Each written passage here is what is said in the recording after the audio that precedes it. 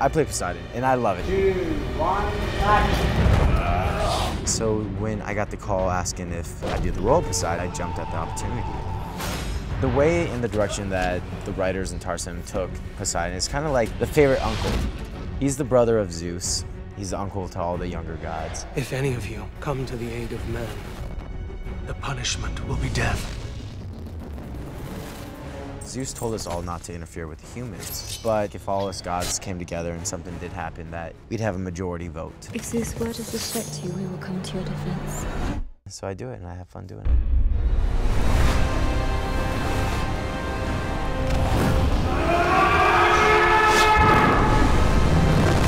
Gotta jump